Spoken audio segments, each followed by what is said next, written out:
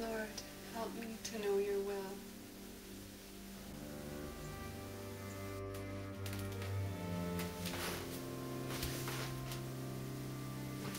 Elizabeth writes to a kind cousin, Eugenie Dulong.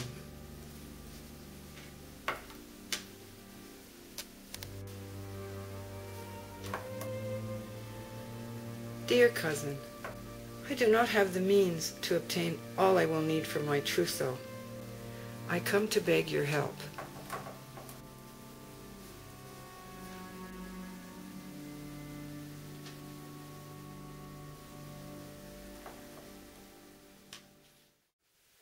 There was a typhus epidemic in 1847.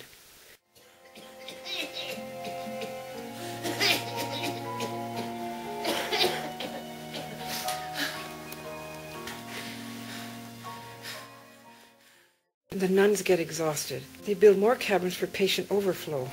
Some of the patients died.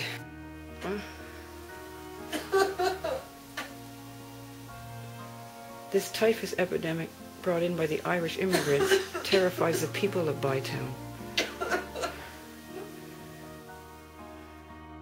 The nuns get very sick. Here, Elizabeth is comforting an infant.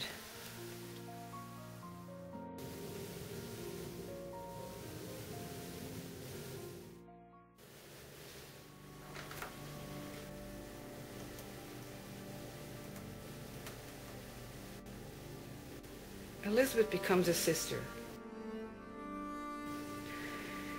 Father Telmon wants her to open a school in Bytown in 1844.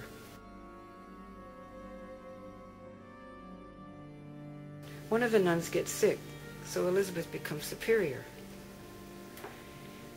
Elizabeth wrote, Here I am in Bytown. May God's will rather than my own be done, she writes. Then began the first bilingual school in Ontario.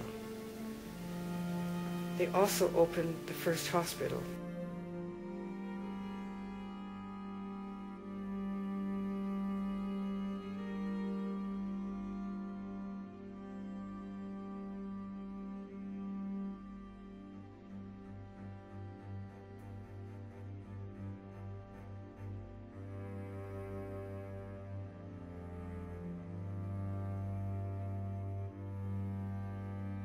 Elizabeth depended on divine providence. They want her to stay in Bytown. Lord, I give myself to Bytown forever. I have no other hope but in God alone.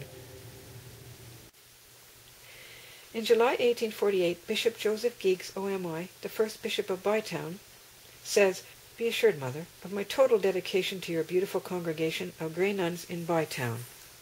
He dies February 1874 and is replaced by Bishop Joseph Thomas Duhamel, who accepts the congregation as Bishop Guigues did.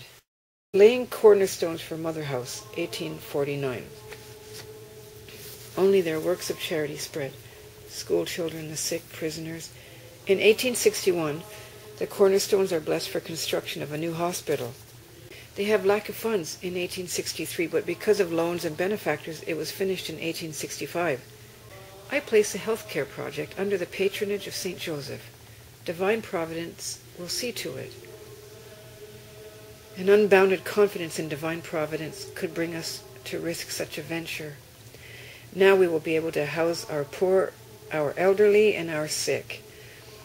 In September 1854, in a letter from Sister Deschamps, we recognize as an established fact your independence from Montreal. Their rule was also completed.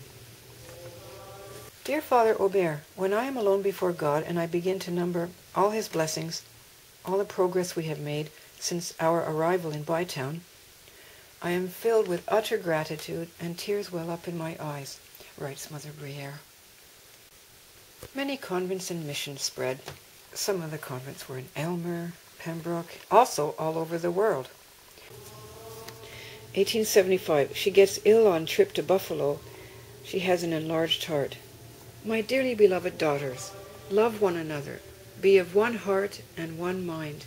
She dies Wednesday, April 5th, 1876, at 7.30 a.m., saying, My dear Jesus.